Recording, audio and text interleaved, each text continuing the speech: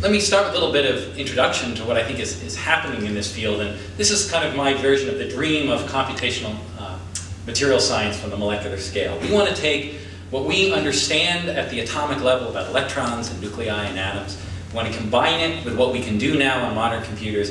We want to use that to understand, to optimize, and really to discover new materials, be it for nuclear reactors or electric vehicles or what have you.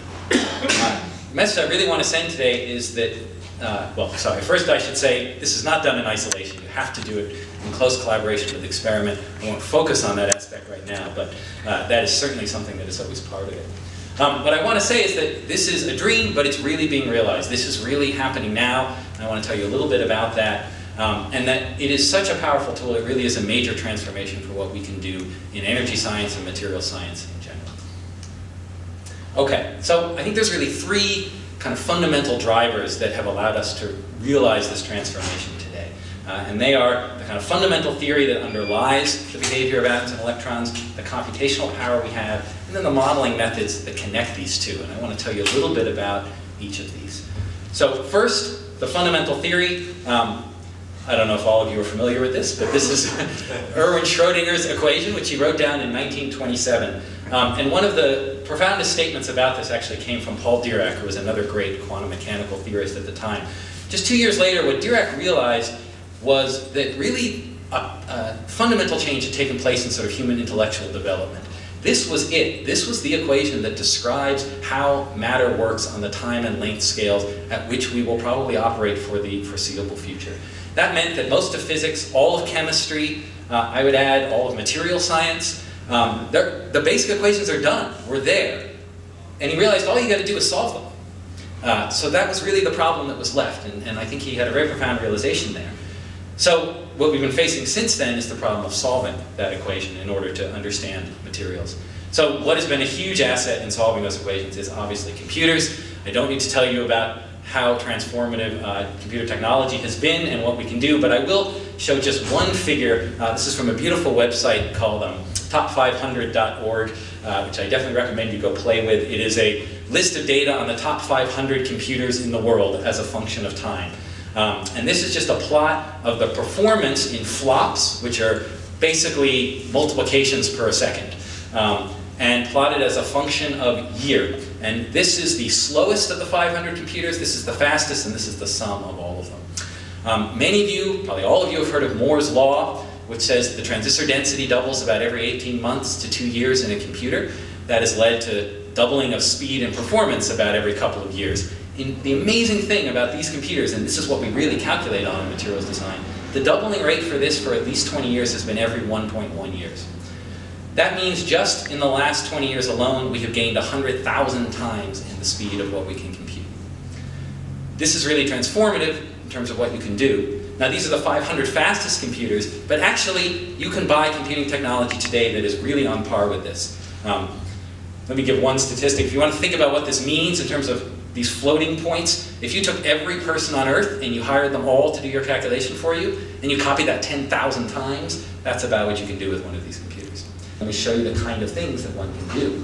Uh, what I'm showing here is calculated voltage of a lithium-ion battery you would have if you used a lithium metal phosphate cathode where the metal was any one of these nine different uh, transition metals, or depending on how you think about copper, but let's them transition metals. Um, and what you see here is that the voltage ranges from about 1.5 all the way up to over 5 volts uh, predicted by the calculations. That's the uh, blue triangles. These crosses are actual experimental measurements, and those are just there to show you that the calculations are extremely close to the experiments. So you really can, in this case, trust the calculations to guide your thinking without having to do the experiments. And you can see how this can be very powerful for materials design. For example, everything down here on the left side is a pretty low voltage. You're not going to make a commercial lithium battery out of that. It just doesn't have enough energy stored in it. These materials up here, for nickel and copper, have very high voltages. Actually, they're so high, you'll typically break down the electrolytes we like to use in batteries. That tells you that these uh, region here are really the optimal materials, which is really manganese, iron, and cobalt. And almost all of the research that has been done on these materials over the last 15 years has focused on manganese, iron, and cobalt-based alloys. The really exciting thing about this is not just that you can do this, but I could do this calculation in a day on the computers I have. it would take you orders of magnitude more time to synthesize each one of these materials and test them experimentally. So it's an enormous speed up of what you can do and what kind of screening.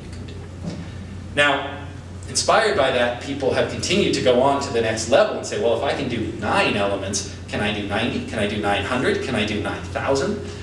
What can we do with that? Uh, and I was part of a very interesting effort um, that is related to designing magnesium ion batteries. Let me just quickly introduce that. A magnesium ion battery is just exactly a lithium ion battery, uh, except you've replaced your lithiums with magnesium. Why do that? Well, magnesium carries two electrons. And that means as a first approximation, you might be able to get twice as much capacity than you could get out of a lithium ion battery.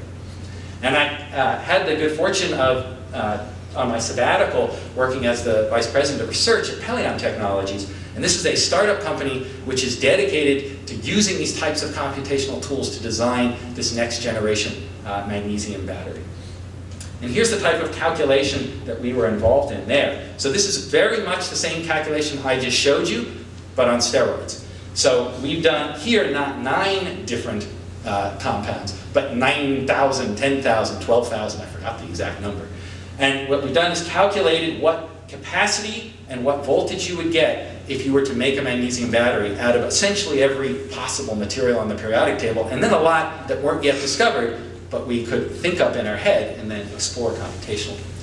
And if you look at this, uh, it's actually the product of these two numbers that gives you the energy density. This is what advanced lithium-ion energy densities are like today. This entire shaded region and all the dots in it represent compounds that could potentially give you energy densities that outperform even the best lithium-ion batteries today.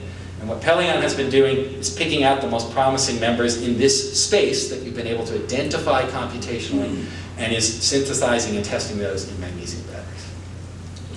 Okay, with that I will wrap up. Uh, the broad message I want to say is that I think these molecular scale uh, computations really are transforming what we can do in energy science. And I think a place like uh, the Wisconsin Energy Institute, where we can integrate that computation with the experiment and with all of the people in one place for the kind of communication you need uh, is really a critical step forward for us, and I think it will help enable Wisconsin to really continue to lead in these types of transformations.